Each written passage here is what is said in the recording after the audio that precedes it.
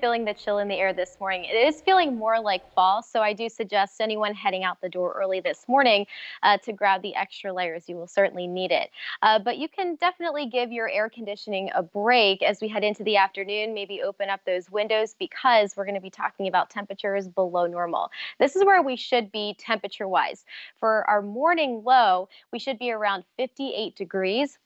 And believe it or not, some spots are waking up to the upper 40s and the lower 50s out there. So looking at temperatures across the viewing area, kind of all over the place, lower 50s up towards the Mason-Dixon line to the lower 60s down by Annapolis.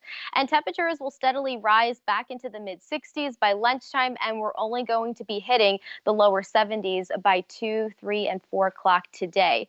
Uh, looking at futurecast, mainly clear skies, not really a lot to talk about uh, as we head into the afternoon or evening. We look to keep the weather pattern on the quiet side today.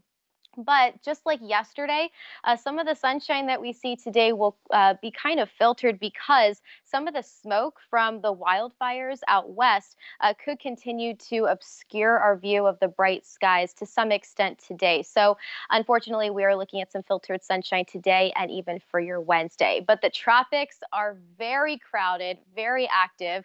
I mean, looking at how many disturbances you can see on your screen right there one, two, three, four, five, six disturbances disturbances that we are keeping track of right now.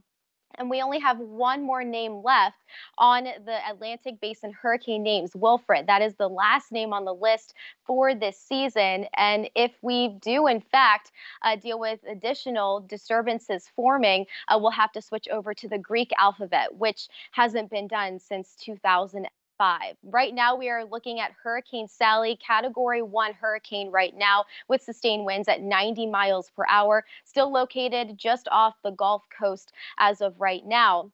And the system is slowly weakening a little bit. Uh, it will continue to weaken as it makes landfall uh, later on today or early Wednesday morning. The timing uh, of when the center of that system will move over land is a little bit uncertain, but looking at uh, the tropical storm warnings, watches, and flood warnings currently underway for parts of Mississippi, Alabama, Florida, and Louisiana, and we'll start to see the storm continue to hook off to the north and east as we head into the next few days. And the bulk of the rain should be to our south, but I wouldn't be surprised if we actually saw uh, some rain showers mainly around southern Maryland and southern parts of the eastern shore as we head into Friday, and we are looking much cooler and drier as we head into next weekend. Now over to Lauren with traffic.